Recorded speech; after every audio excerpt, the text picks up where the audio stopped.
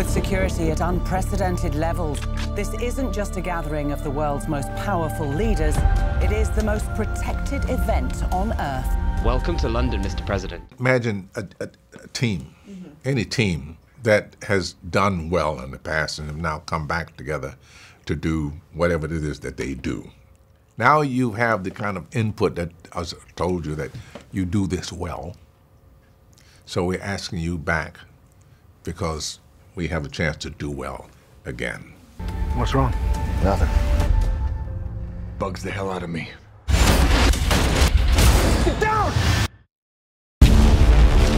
To me, big action means real action. And that's what turns me on, is the fact that this is totally believable.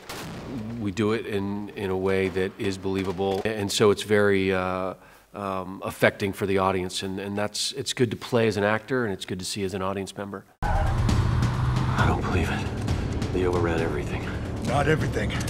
Bigger, badder, you know, than the last, and complete satisfaction.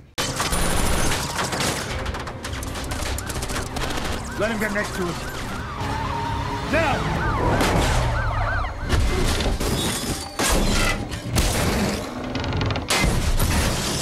One of the most visceral Complete experiences they'll, they'll, ever get out of an action mm-hmm. thriller.